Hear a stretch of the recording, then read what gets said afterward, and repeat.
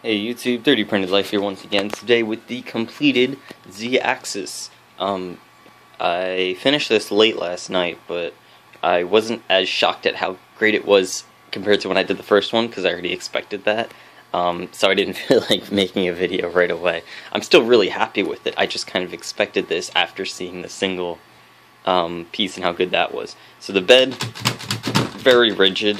Honestly, this moving here is the whole thing shifting up because there's a little bit of space in here with the pulley.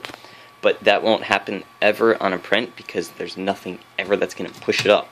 But as far as wiggling, um, like I said before, it's like fractions of a millimeter.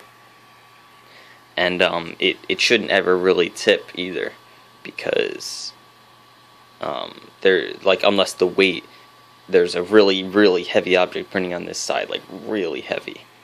Um, but that's probably never going to happen. And even if it did, you wouldn't even notice it. So I think it's okay. Um, the drive mechanism has been put in. Uh, my belt is a tiny bit too long, so as a result, my bed is too far forwards. Um, I would like this to be another 20 millimeters back so that it will clear these brackets on the bottom when it goes down all the way and um, also I believe 20 millimeters back will center it uh, underneath like the, the print area pretty much perfectly. So I can run it real quick for you guys. I just got to loop that around. Um, also, I printed out this piece, but it didn't have enough clearance and wasn't that nice, so I'm just using a pulley on a screwdriver. Okay, I gotta pause this. Okay, so I got it. This is going to be a bit difficult to do with one hand. So I'm going to have to pause it and then bring it back when it's already moving because there's no other way to do this. Okay, so now it's moving down, if you can tell. Uh, it moves pretty slow. I calibrated it right now, so it should be the right amount of steps per millimeter. Um, here you can see the little pulley spinning, my hand holding it, pulley, motor is spinning, can't really, oh you can see that. And yeah, this guy's moving down. That threaded rod is spinning rather slowly, and it's moving. Um, oh, oh, okay. yeah, I really need a little table here, but this bin's gonna do fine for now. Um, so, that's pretty much it. It's not super exciting, but it's exciting for me because I know this is gonna work, which is great news. So at this point, what do I have to do before I have a completed printer? I have to modify this piece so that it's uh, the thing's a little bit farther out so that it does not hit the screws in here that are holding this to the frame.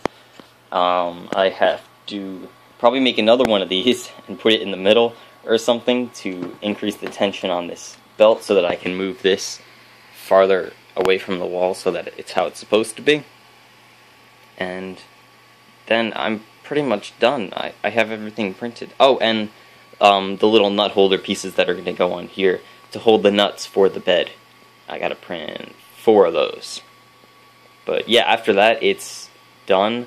I am literally just waiting on nuts, which is just wonderful, as I'm sure you could guess. Um, uh, in, in case you care, I actually had a dream last night that I found them but the problem is I found them in this drawer, and the reason I found them there is because that's where I'm keeping everything now. so, yeah, that, that unfortunately didn't help. Um, yep, so that's pretty much it. Thank you for watching. Uh, the nuts that I ordered are supposed to arrive Wednesday or Thursday at the latest. So hopefully by Friday, I will have a working printer that would be pretty awesome. And um, I'm also leaving for the weekend, so if I don't get them uh, by Thursday, actually, I won't be able to make it until Monday. So um, hopefully, I get those Thursday so I can throw the thing together uh, the rest of Thursday and Friday. And hopefully get a few prints out of this thing before I go away on a little um, weekender to my family in Virginia. Yay. Um, yeah, that's pretty much it. Thank you all for watching. I hope you enjoyed this video, and I hope that you like this new little bed. Um, I will explain why in a later video I decided to stick with the dual um, Z-screw despite the fact that one was so stable. Um, so yeah, I'll talk about that in a whole a big video where I talk about the design in general and each of the features and why I chose to do what and what they do exactly and all that stuff. So if you are interested in that, please subscribe. If want to see more, please subscribe. If you like this video, thumbs up. I'm gonna shut up now. I'll see y'all later.